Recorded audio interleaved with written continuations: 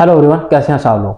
दोस्तों, आज की इस वीडियो में आप लोगों को मैं एडीसीबी और सीबीडी बैंक के दरमियान डिफरेंस बताने वाला हूँ। दोनों का मैं कंपेयर करूँगा कि अगर आप लोग इन दोनों में से किसी एक में अकाउंट अप्लाई करने वाले हैं तो आपके लिए, आपकी रिक्वायरमेंट के हिसाब से कौन सा बैंक जो है बेस्ट रहेगा। इस वीडियो में आप लोगों को इन दोनों बैंक के फीचर्स इनकी रिक्वायरमेंट्स और इनको अप्लाई करने के बारे में बताने वाला हूँ। आपने इस वीडियो को कंप्लीट देखना है। तो आगे बढ़ने से पहले मैं आपको ये बता दूँ कि अगर आप मेरे से कॉन्टैक्ट करना चाहते हैं, किसी भी टाइप की क्वारी आपके, आपको कोई अकाउंट से रिलेटेड प्रॉब्लम है लोन से रिलेटेड या क्रेडिट कार्ड से रिलेटेड आप वीडियो के डिस्क्रिप्शन में एक लिंक है, उस पर क्लिक करेंगे तो आप मेरे से कॉन्टैक्ट कर सकते हैं, ठीक? और मेक श्योर करें कि इस चैनल को आप लोग ज़रूर सब्सक्राइब कर दें ताकि इस तरह की इन्फॉर्मेटिव वीडियो आपको मिलती रहे। तो दोस्तों, यहाँ पर सबसे पहले मैं दोनों बैंक के अलग अलग फीचर्स आपको बता देता हूँ इनकी रिक्वायरमेंट्स बता देता हूँ। और फिर मैं आप लोगों का इनका जो डिफरेंस है वो बताऊँगा कि इन दोनों बैंक्स में बेसिकली डिफरेंस क्या है, कौन सा बैंक जो आप लोगों के लिए बेस्ट रहेगा। यहाँ पर मैंने सबसे पहले एडीसीबी की जो वेबसाइट है वो ओपन की है, ये इनकी यहाँ पर ऑफिशियल वेबसाइट है, मैं इनकी लेटेस्ट अपडेट भी आप लोगों के साथ शेयर करने वाला हूँ। तो अगर आप लोग इसमें ऑलरेडी अकाउंट यूज़ कर रहे हैं तो आप लोगों की ये वीडियो काफ़ी हेल्पफुल होने वाली है। तो सिंपली मैं इसके अकाउंट्स वाले ऑप्शन पर क्लिक करता हूँ। तो जैसे कि आप देख सकते हैं, यहाँ पर current account and saving accounts तो यहाँ पर सिंपली ओपन कर लेता हूँ।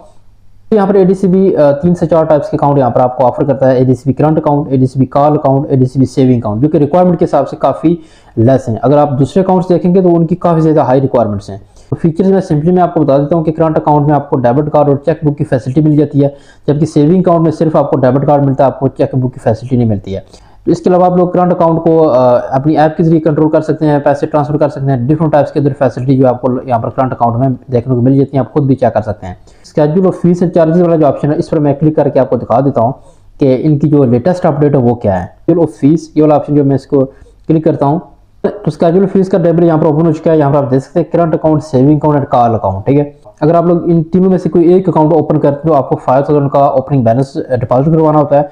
इसके अलावा नीचे यहाँ पर आप देख सकते हैं मंथली रिलेशनशिप फ़ीस जो है तो आपको मंथली बैलेंस इसमें मेंटेन करना होता है। वो टेन थाउज़ेंड से फिफ्टीन थाउज़ेंड के रेंज तक जो आपको आज की डेट में बैलेंस मेंटेन करना होता है। It is it is B current और सेविंग अकाउंट में।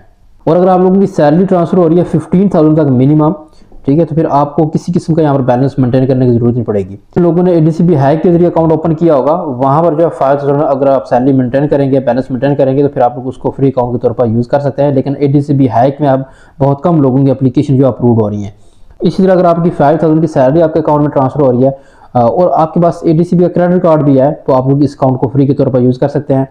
अगर आपके पास आपकी सैलरी हो, आपके अकाउंट में ट्रांसफ़र हो रही है फाइव थाउज़ेंड लेकिन आपके पास क्रेडिट कार्ड नहीं है तो आपको ट्वेंटी फाइव दिन के मंथली चार्जेस पे करना होते हैं। और यहाँ पर नीचे देखें टायर थ्री में अगर आप ये तीन कंडीशन को फ़र्स्ट एंड सेकंड कंडीशन को पूरा नहीं कर रहे हैं आपकी सैलरी भी आपके अकाउंट में कम ट्रांसफ़र हो रही है आ, आपका जो क्रेडिट कार्ड है वो भी आपके पास नहीं है तो फिर आपको हंड्रेड दिन के चार्जेस जो मंथली ये डिडक्ट करते हैं।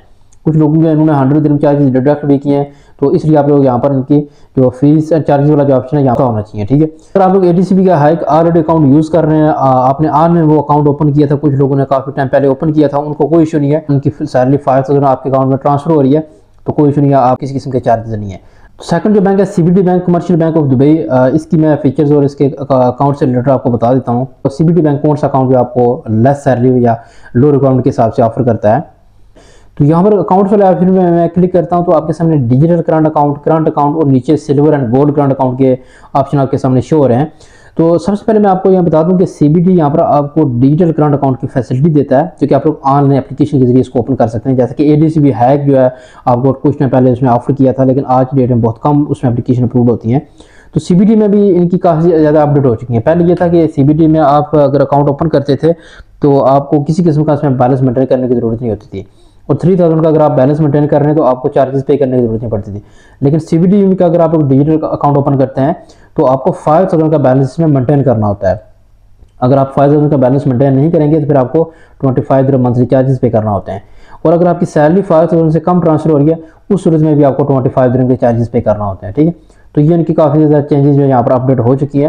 आप लोग सीबीडी का करंट अकाउंट अप्लाई करते हैं तो उसमें आपको बहुत ज़्यादा फीचर देखने को मिल जाते हैं, लेकिन उसमें भी सेम क्राइटेरिया जो कि आपको डिजिटल अकाउंट का क्राइटेरिया जो मीट करना होता है। तो यहाँ पर मैंने दोनों अकाउंट्स के अलग अलग फीचर्स और उनके रिक्वायरमेंट्स आपको बताई हैं, और दोनों अकाउंट्स के लिए अगर आप लोग अकाउंट अप्लाई करते हैं तो मिनिमम जो सैलरी है वो फाइव थाउज़ेंड है ठीक है?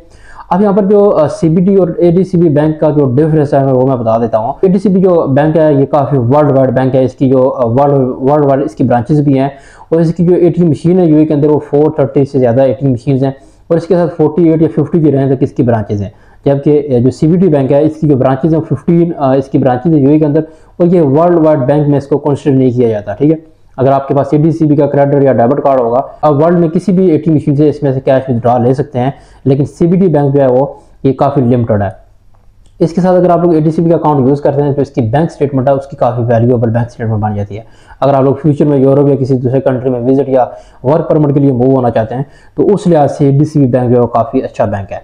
लेकिन रिक्वायरमेंट के हिसाब से यहाँ पर लेस जो रिक्वायरमेंट है वो मेरे ख्याल से सी बैंक में है। आपको फाइव थाउज़ेंड का बैलेंस मेंटेन करना होता है, जबकि ADCB बैंक में काफ़ी ज़्यादा रिस्ट्रिक्शन जो है अभी उन्होंने अपडेट किए हैं, वो हाई क्राइटेरिया जो है वहाँ पर मीट करना होता है। तो इसलिए आप लोग देख लें कि आपको आपकी रिक्वायरमेंट के हिसाब से कौन सा बैंक जो अप्लाई करना चाहिए आप लोग।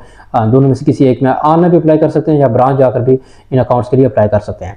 आई होप कि आपको वीडियो अच्छी लगी होगी। आप वीडियो को दोस्तों के साथ ज़रूर शेयर कर दें। मिलते हैं नेक्स्ट वीडियो में। Thanks for watching